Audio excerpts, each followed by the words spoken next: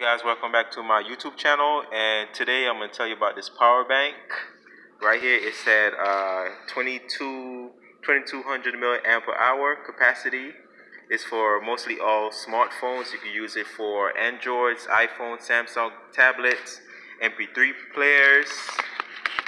It's, it, it comes actually uh, pre-charged, so you know when you open up open it out of the box, you can just plug it in and it actually start charging your phone. But I recommend you to charge it fully charged, like give it like 24 to 72 hours of charge. So right here it said it's uh, rechargeable with the USB iPhone. Recharge can use USB iPhone, Android, iPad, MP3, Android phones. So it's basically all phones, guys. So I'm just giving you a quick review on this product, and I should do the little um, unboxing. Can you unbox it for me?